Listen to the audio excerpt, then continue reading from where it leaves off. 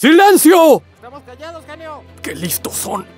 Midorilla, hiciste algo más que solo practicar para el examen, ¿no es así? No tenía la más mínima idea. Te juzgué excesivamente mal.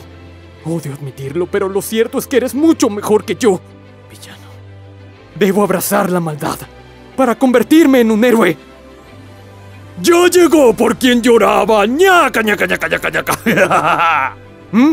¡Ya te vi, Uraraka! Ustedes, chicos, no me tienen ni un poquito de respeto. Yo soy el delegado de la clase, no un simple monigote. ¿Y eso qué? Seguro ya lo saben. Tal vez el profesor Aizawa ya lo mencionó, pero es que el don de Eri se manifiesta a través de su cuerno. Y ya está creciendo de nuevo lentamente. Y es por eso que dejaré la escuela y me dedicaré completa y absolutamente a cuidar de Eri. Sé que estarán ocupados, pero visíteme de vez en cuando, ¿de acuerdo? Esperemos que así sea. claro que sí. ¿Jugaremos adivina quién? Eso da igual. No importa cuánto tarde, llegaré a la cima.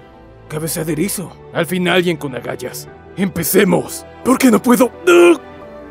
Kirishima, cambio de planes. Adelante, Kirishima. Definitivamente, estoy muy calmado. ¡Demonios, espera! ¡Hay que ir por el primer lugar, tarado!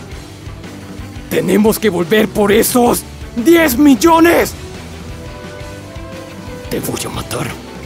El bombardero asesino. Un saludo enorme para los amigos que me pidieron estas pruebas en cada uno de estos personajes. Fue interesante salir de mi zona de confort. Siento que el único que me quedó realmente bien fue Ida, pero si ustedes quieren ver mi voz en algún otro personaje, déjenlo aquí en los comentarios. ¡Hasta luego!